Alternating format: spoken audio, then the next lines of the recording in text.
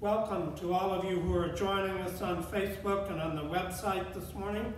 We are back holding live services, and there's about 20 of us here enjoying worshiping together. But it's glad it's good to have all of you that are joining us by Facebook and the website to be with us also now. Wanted to wait and make the announcements. We continue in our Bible study from Sue Edwards in this week's chapter Lesson 5, Strengthen the Sacred Mix, 1 Peter 3, 1 through 7. I've enjoyed preparing this study, and uh, I believe all the lessons are still up. If you haven't had a chance to participate before, you can go back and do some of the lessons and uh, uh, just enjoy doing the Bible study together. It's been worthwhile.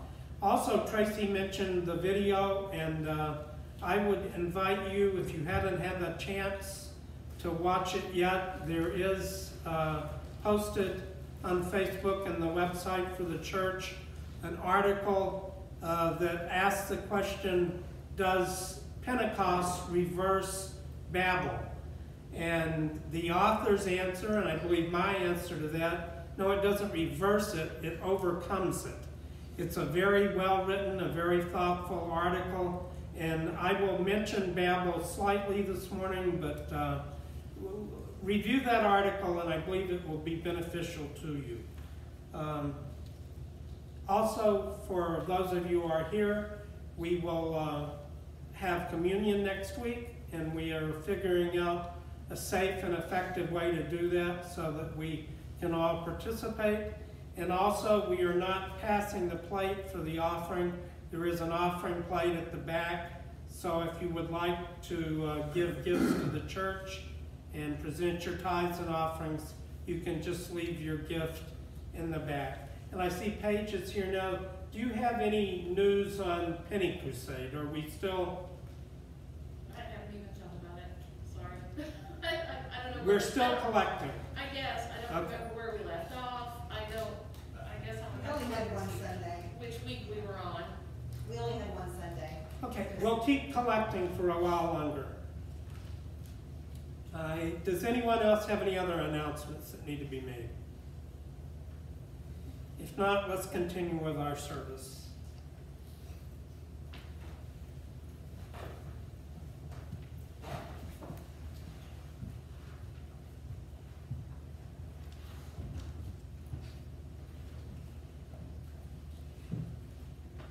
Acts 2, 1 through 24 and 31 through 36, the day of Pentecost.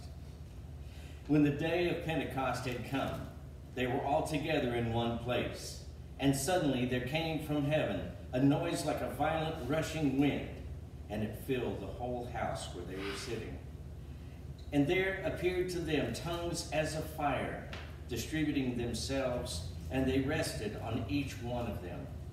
And they were all filled with the Holy Spirit, and began to speak in other tongues, as the Spirit was giving them utterance. Now there were Jews living in Jerusalem, devout men from every nation under heaven. And when this sound occurred, the crowd came together and were bewildered, because each one of them was hearing them speak in his own language. They were amazed and astonished, saying, Why are not all these who are speaking Galileans? And how is it that we each hear them in our own language to which we were born?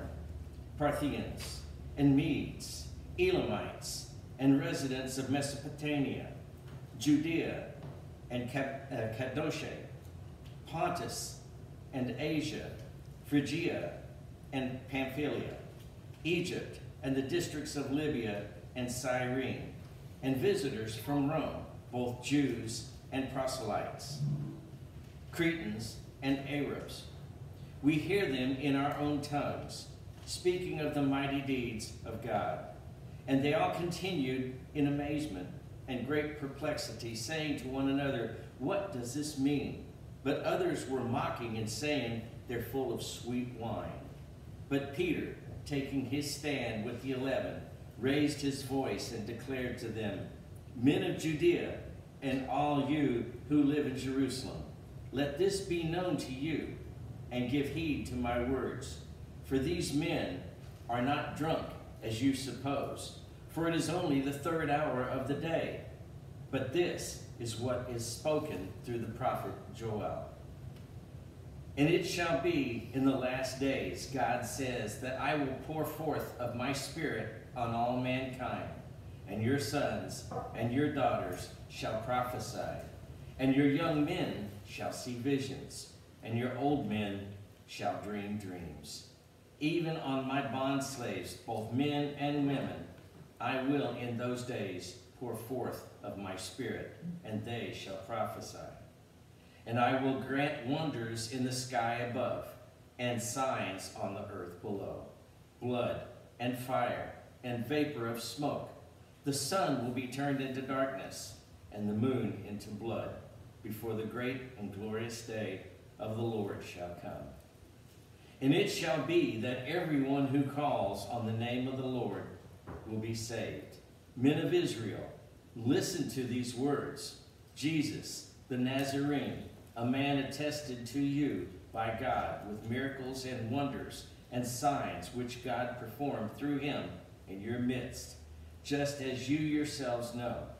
This man, delivered over by the predetermined plan and foreknowledge of God, you nailed to a cross on the hands of godless men and put him to death. But God raised him up again, putting an end to the agony of death since it was impossible for him to be held in its power. He looked ahead and spoke of the resurrection of the Messiah, the Christ, that he was neither abandoned to Hades, nor did his flesh suffer decay.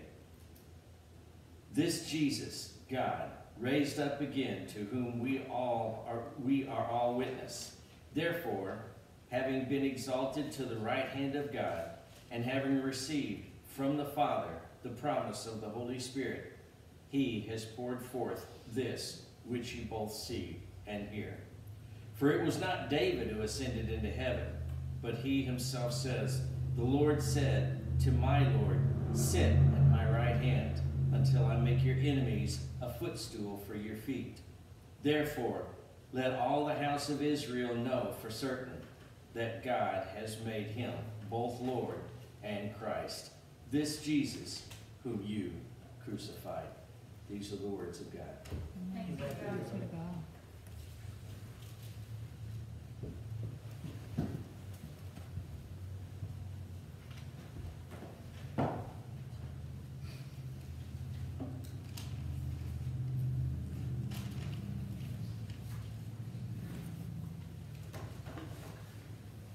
Pentecost Sunday. Promises kept, prophecies fulfilled, and spirit filled. Welcome back to those who are here and worshiping with us, and for those who are at home, hope to see you soon. Today is Pentecost Sunday, literally the 50th day in Greek. We celebrate the coming of the Holy Spirit, which in turn signifies the birth of the church and it was impressed upon me this was a good Sunday for us to get back together on the birth of the church. Some background information. Pentecost is the Greek name for the Jewish harvest festival, sometimes called Feast of Weeks or the Festival of Weeks, are also given the Jewish name Shavuot, S-H-A-V-O-U-T, Shavuot. Uh, it originally commemorated, commemorated the giving of the Ten Commandments. This is what the feast was all about. And it came to be a feast of the celebration of the early grain harvest, approximately seven weeks after Easter. And so, seven weeks after the end of Passover for the Jewish people. It was celebrated on the 50th day from the end of Passover. And even before it became a Christian holiday, celebrating the coming of the Holy Spirit and the birth of the church, it became known in the early church or in the early Jewish community, also known as Pentecost.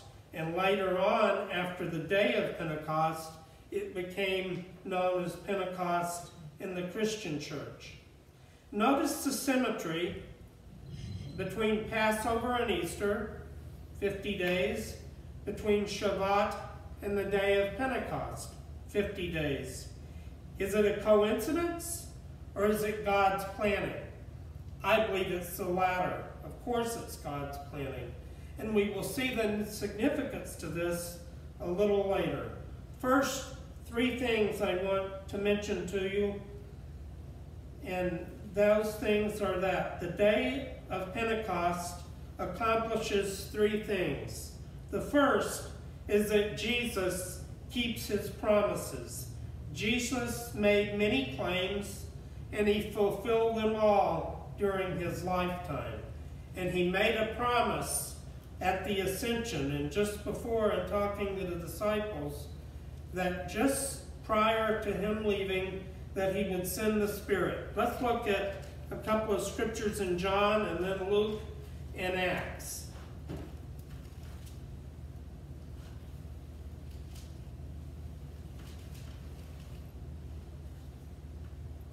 John, the 14th chapter, verses 16 and 17.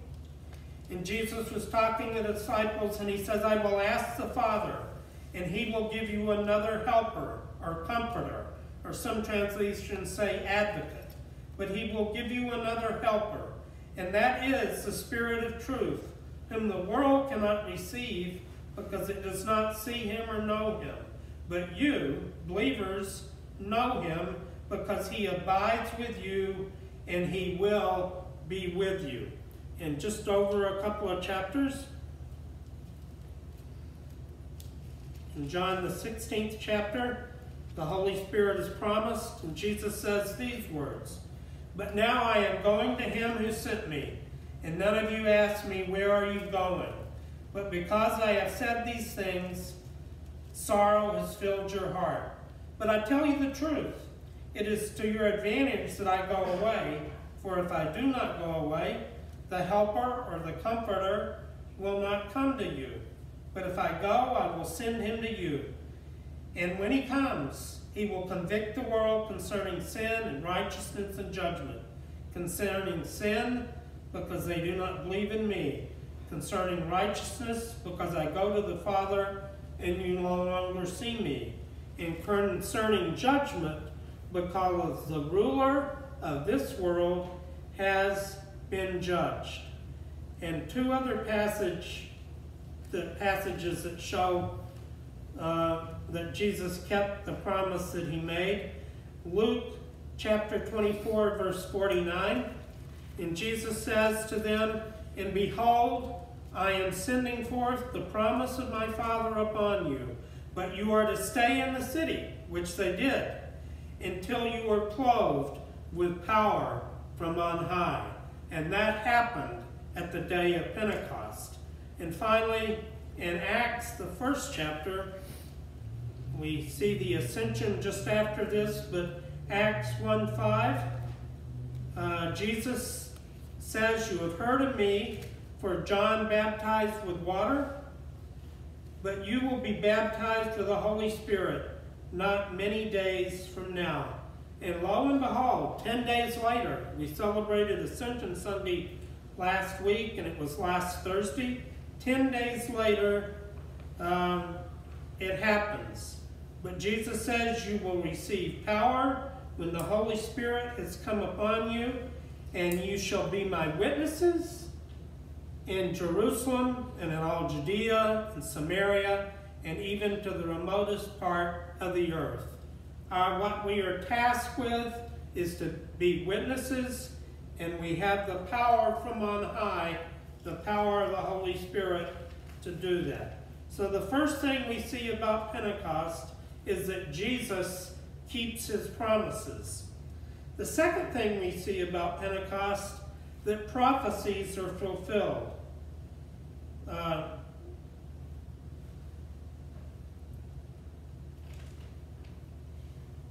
if we skip down in Acts chapter 2 a ways, we'll come back in a moment to the early part of the chapter. But if you skip down to verses 12, 13, and 14, we'll see this about Peter. Peter was ready to preach his first sermon since Jesus went away. Peter is now, we might say, the lead guy, and he's ready to preach about the Lord Jesus Christ. But sometimes the way I feel when Sarah has an effective children's sermon, how do you follow that? And Peter's probably asking himself at this point, how do I follow this, what's going on? And we'll go back to it. And we see in verse 12, and they all continued in amazement and perplexity, saying, What does this mean? And in verse 13, others were saying and mocking, they were having a big laugh about all of this, and they said, They're drunk. They're full of sweet wine. So Peter responds. Peter, the scripture says, Peter, taking his stand, he was now ready to speak. And Peter, with the other eleven, uh, raised his voice and declared to them, Men of Judea, uh, what you see has been prophesied. These men aren't drunk, for it's only the third hour of the day, 9 in the morning. Jewish time started at 6 a.m. So it's only 9 in the morning. Why would these guys be drunk at 9 in the morning? So he says it's not that they are drunk with wine, but this was what was spoken of through the prophet Joel. And it's quoted here in Acts. I'm going to read Joel chapter 2, verses 28 to you. And it says approximately the same thing, but from Joel the prophet It will come about after this that I will pour out my spirit on all mankind, and your sons and daughters will prophesy, and your old men will dream dreams, and your young men will see visions. I think I'm long past the dream stage. Even on your male and female servants, I will pour out my spirit in those days. I will display wonders in the sky and on earth, blood and fire and columns of smoke. And the sun will be turned into darkness, and the moon into blood, before the great and awesome day of the Lord. And it will come about that whoever calls on the name of the Lord will be delivered. For on Mount Zion and in Jerusalem, where there will be those who escape, as the Lord has said, even among the survivors whom the Lord calls. And so Peter is quoting the prophet Joel, and he's saying, this isn't a case of people being drunk, but rather it's a prophecy fulfilled.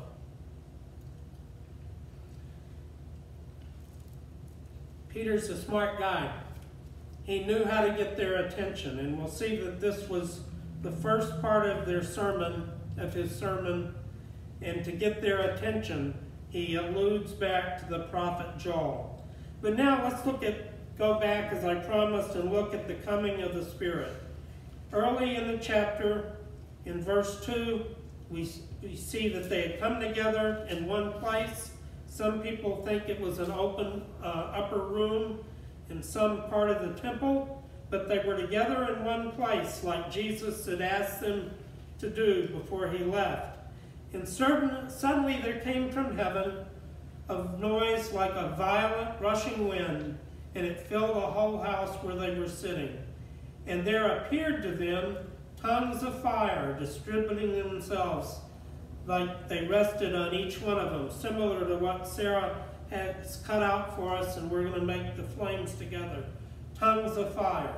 And they were all filled with the Holy Spirit and began to speak with other tongues as the Spirit was giving them utterance. And now there were Jews living in Jerusalem, devout men from every nation under the heavens. And when this sound occurred, the crowd came together, and they were bewildered because each one of them was hearing them speak in his own language.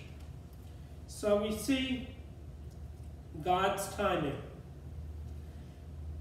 When this happened, we can think back to the idea of Shavuot and the Festival of Weeks.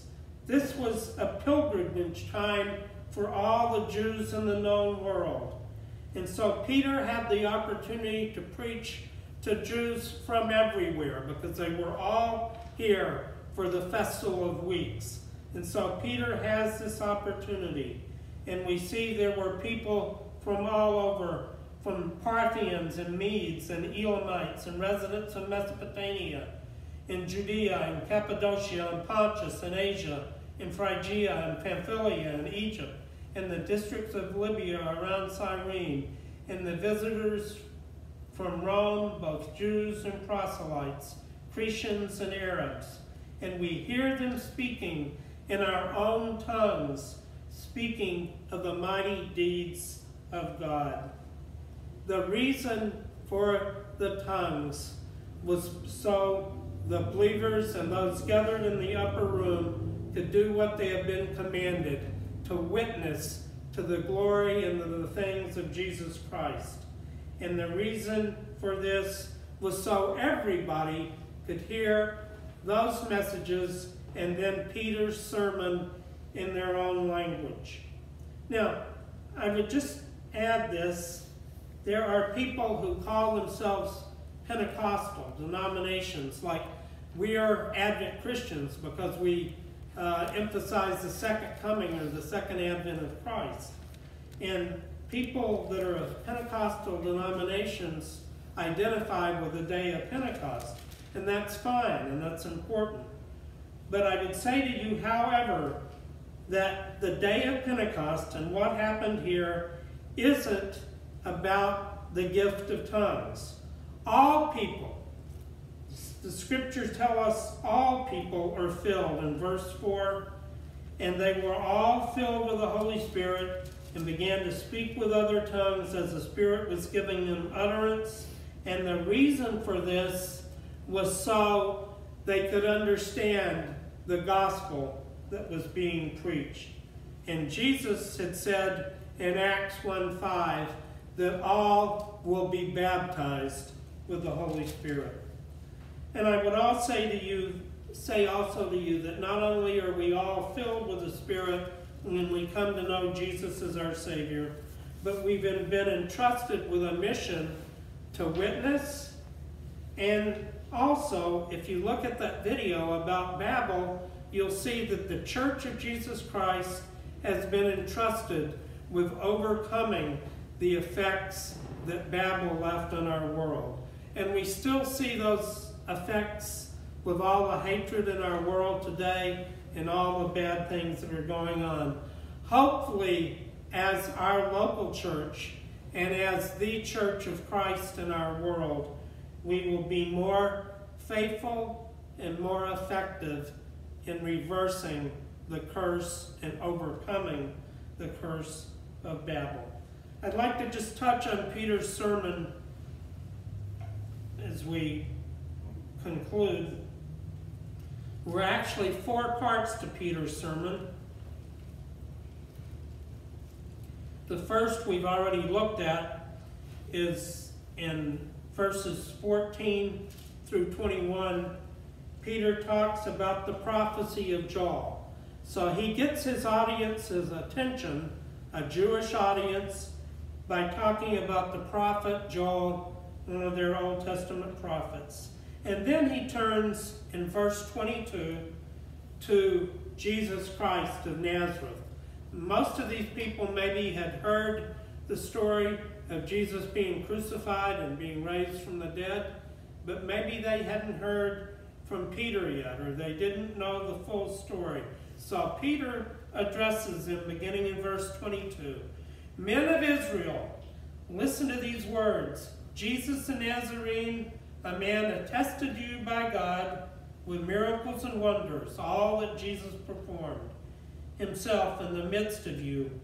This man was delivered over by the predetermined plan of God and the foreknowledge of God.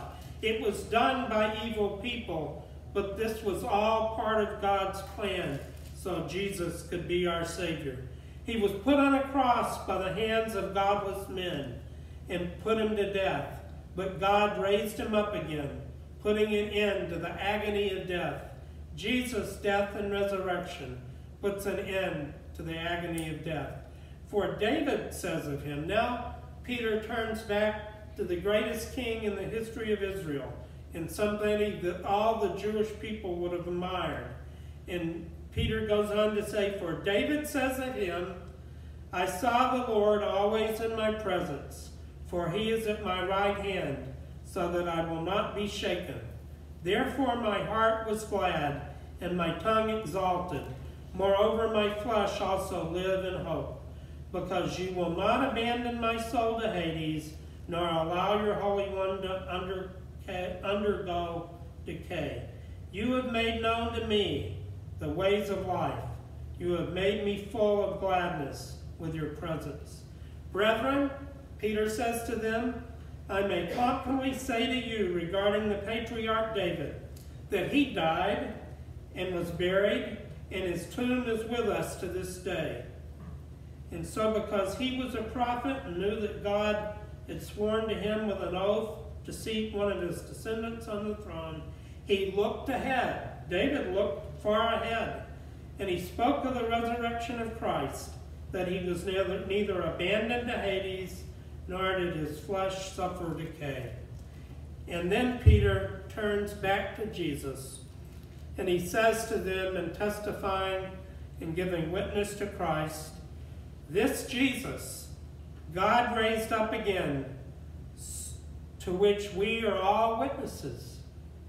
It's known for sure that Jesus was raised from the dead, and having been exalted to the right hand of God, and having received from the Father the promise of the Holy Spirit, he has poured forth this, this which you both see and hear.